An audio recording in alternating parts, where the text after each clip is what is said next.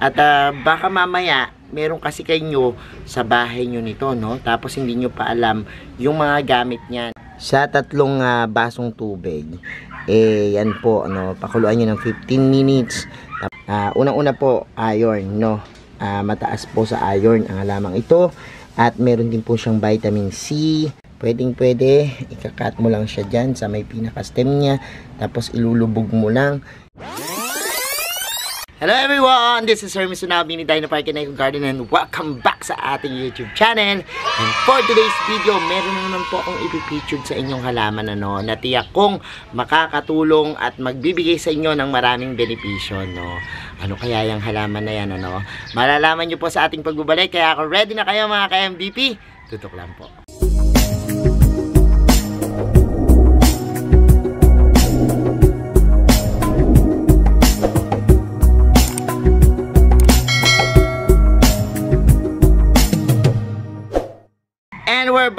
ka-MDP at ngayon nga po, ayan, nakikita nyo dun sa ating ah, screen yung aking halaman ano, na sinasabi, no. Ito po yung tinatawag na lemon thyme, no. At ah, ngayon pa lang, ha, sa pagkuha ko sa kanya dito, malapit na malapit sa akin, naaamoy ko yung kakaibang aroma niya, no. At ah, parang damo lang kung tingnan ano. At ah, baka mamaya meron kasi kayo sa bahay nyo nito, no? Tapos hindi nyo pa alam yung mga gamit niya, no? At yung ah, kahalagahan nito at maibibigay sa ating maganda. Ngayong araw po na to, ah, ibibigay ko po sa inyo yung mga benefits, whether ornamentals, sa pagkain, at yung mga ah, pwedeng malunasan nitong ating halamang ito, no? Papakita ko sa inyo ng malapitan kasi ito hindi ko alam kung ano ang tawag dito sa Tagalog ano or sa ibang dialect or sa ibang ah, lugar. Kung ano tawag sa inyo nito, no? Kung meron pong tawag sa inyo niyan, eh comment niyo na lang po ano. Pero pakita ko na sa inyo na malapitan tsaka natin pag-usapan. Nung nagsimula po ako sa pag-aalaga ng mga herbs, mga damo-damo, eh tinitingnan ko po, no, kung ano-ano yung mga halaman dito malapit sa amin or kung meron akong nadadaan ng garden shop, tinitingnan ko kung ano yung mga halaman na may mga benepisyo, no. At isa nga po ito dun sa aking ah, nakita, no. Ah, napakaganda po nitong halaman na to kasi ah, dahil sa binibigay niya na magandang mga benepisyo, no. Sabi ko sa inyo kanina, hindi ko alam kung ano yung tawag ano sa inyo nito, no. Kasi ah, yan, tingnan nyo na lang po yung itsura niya. Kasi ito minsan may mga ah, parang variegated din, no, na ganito. Ah, ito lemon thyme yung sabi, no, sa halamang ito. Pero ah, sa inyong lugar, kung ah, meron kayong ah, tawag dito, paki-comment nyo po yan, no, para malaman ng iba. Kasi baka sila, eh, meron ding alagang ganito, hindi nila alam yung gamit, ano. Pero ito po, ah, bukod po doon sa kanyang ganyang mga dahon na mapipino, eh, green na green yung kulay niya, no.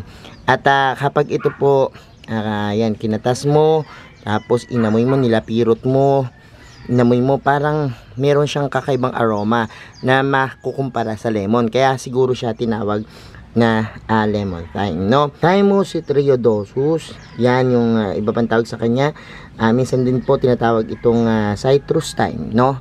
Ah, dahil nga po dun sa kanyang parang malalemon na amoy. Actually, ah, yung iba po, ah, parang hinahaling tulad ito sa mga first lane, ano, o yung mga damo na nakikita nyo tumutubo dun sa inyong mga ah, bakuran, ano. Ah, ganyan po yung itsura niya kasi, no, parang maliliit, no, na ah, dahon.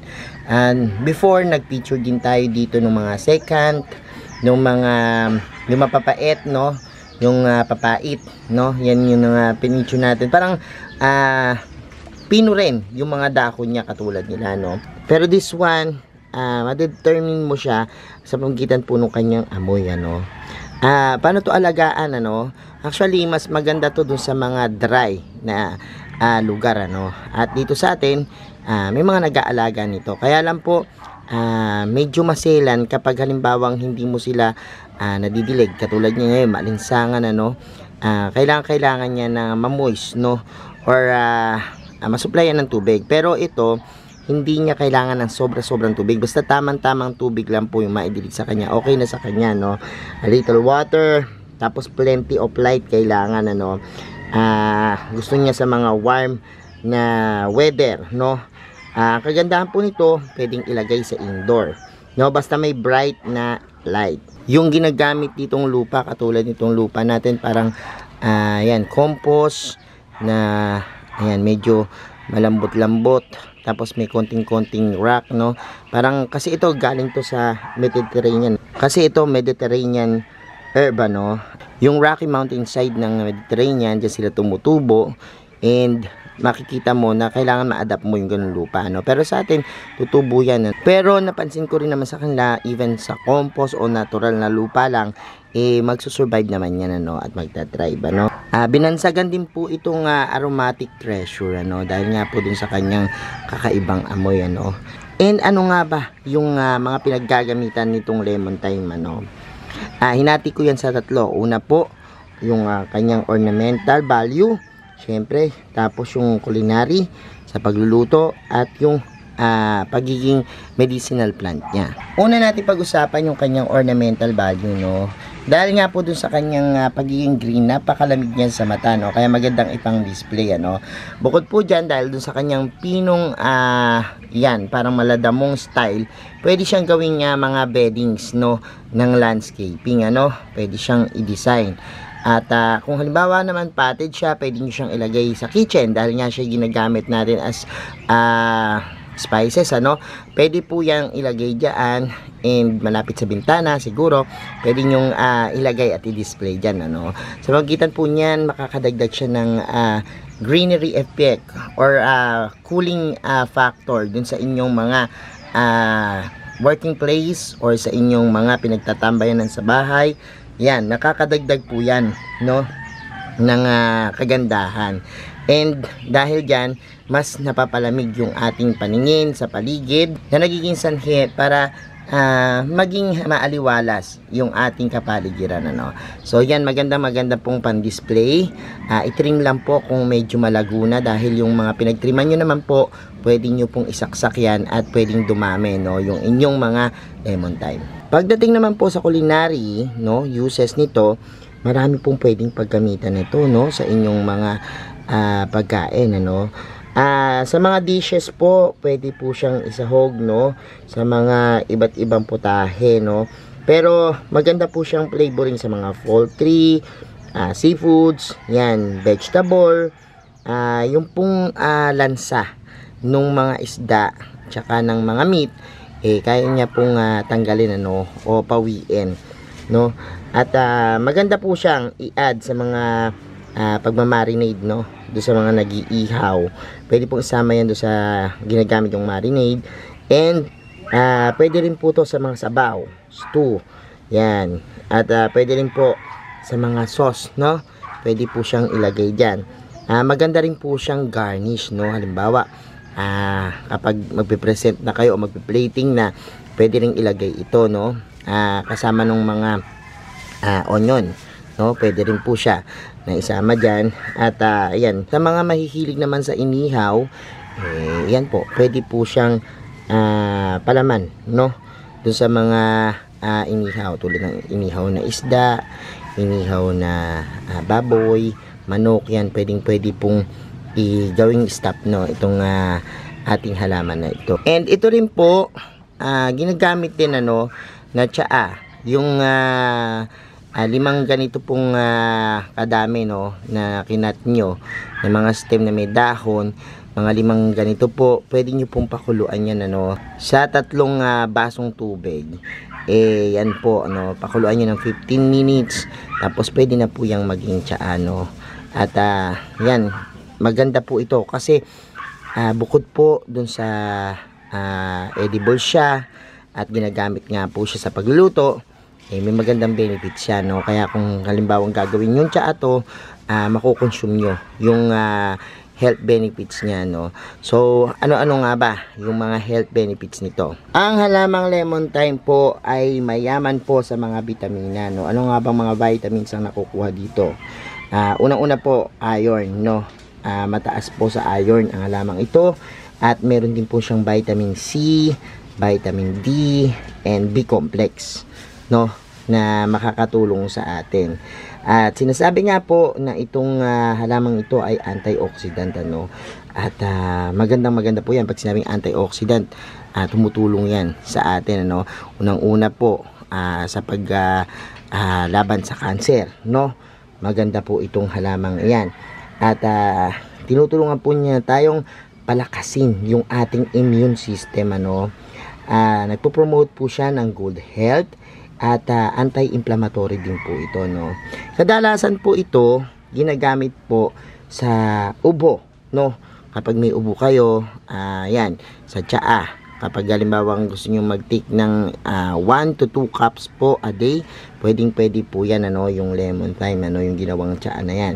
At ah, bukod po dyan, dun sa mga merong ah, respiratory problem, magandang maganda po yan. Kasi nga po, ah, lalo na yung may mga plema, yan, ah, kailangan yung uminom ng ganito para po ah, nang sa gayon, eh, yan, maibsan yung paghihirap nyo sa paghinga, sa pag-ubo, no, mas maluwag. So, yan po yung ah, kadalasang gamit nitong ating lemon thyme, ano. Bukod po dyan, dahil nga po sa taglay niyang amoy, and characteristic, maganda rin po siyang panlaban sa mga anxiety, sa mga stress, no?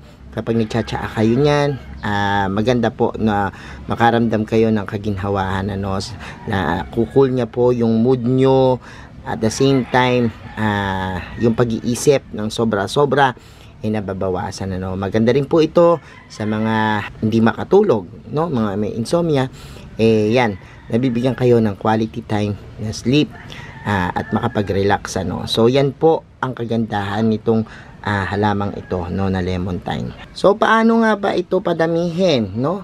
Ah, bukod sa mga care tips natin kanina, eh ah, ito po napakadaling lumago. Ano sabi ko nga sa inyo, minsan makita mo na lang diyan, pakalat-kalat na yan, nasusulog na ibang dahon kapag halimbawang kumakalat, no.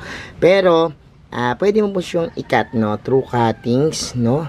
Pwedeng pwede, ikakat mo lang siya dyan sa may pinaka-stem niya, tapos ilulubog mo lang, yan. Ah, minsan, pwede nyo ibabad sa tubig, ano, para po pag ugatin pero minsan diretso nyo na po ano gumamit lang ng ng soil na nakakapag-retain ng moist ano para ugatan siya kaagad.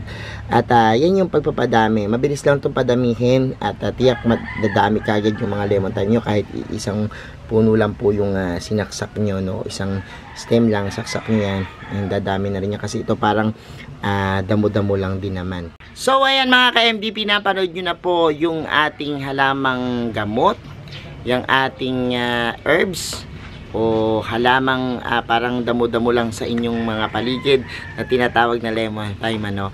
At ah, kung meron po kayong ganyan, subukan nyo po no at maraming maibibigay sa inyong benepisyo yan. Salamat sa inyong panonood at ah, I hope meron kayong natutunan. Baka mamaya nandiyan na lang yan sa harapan nyo, hindi nyo pa napapansin, eh pwede nyo po lang gamitin yan ano. Ah, I hope na nakatulong ako sa inyo at ah, share nyo po yung ating video no para malaman din ng iba. Salamat ng maraming maraming mga ka-MDV sa lahat na nag-like, nag-share at nag-comment sa mga hindi pa po nagsasubscribe sa ating YouTube channel. Kung bet na bet nyo po yung ganitong usapan plants and gardening, eh mag-subscribe na po kayo. Huwag nyo pong kalimutang i-hit yung notification bell para laging updated sa aming latest uploads. Pati po sa iba't iba nating social media accounts sa ating TikTok, Instagram, Facebook pages, search lang po Hermes Sunao or Mini Dino Park and Eco Garden. Makikita nyo na yan. Salamat ng maraming maraming mga ka-MDP and this is Hermes Sunao. Nagsasabi sa inyo ng Happy Planting! Bye-bye!